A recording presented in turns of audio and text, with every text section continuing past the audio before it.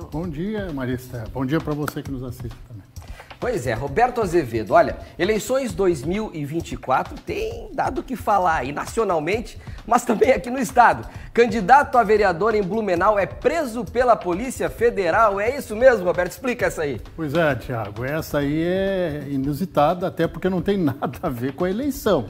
Ele foi preso, o Dirley Paz, que é candidato a vereador, ele é pastor, é candidato a vereador pelo PL, Partido Liberal. Ele foi preso porque lá em 2023 ele foi um dos detidos na Operação Lesa Pátria, que investiga aqueles atos de 8 de janeiro, a invasão dos três poderes lá em Brasília. E a Polícia Federal, na investigação dela, diz que este que aparece aí na foto, o Dirley Paz, que é pastor evangélico, é um dos financiadores que aparece nas listas de WhatsApp, sendo um dos financiadores daquele movimento que a gente conhece. Tomou lá Brasília, houve exageros, etc. e tal, muita gente presa, muita gente já condenada por aquilo.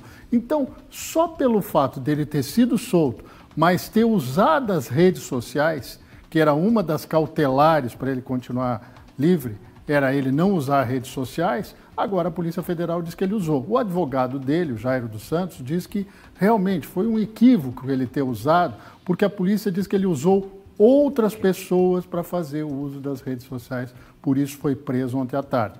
E não tem problema nenhum para a candidatura dele. Como ele não é condenado criminalmente, não tem uma condenação transitada em julgado, ele pode continuar a campanha dele. Só foi detido por não cumprir uma cautelar. Claro que é ruim. Você se apresenta para a sociedade, sou candidato a vereador, estou preso.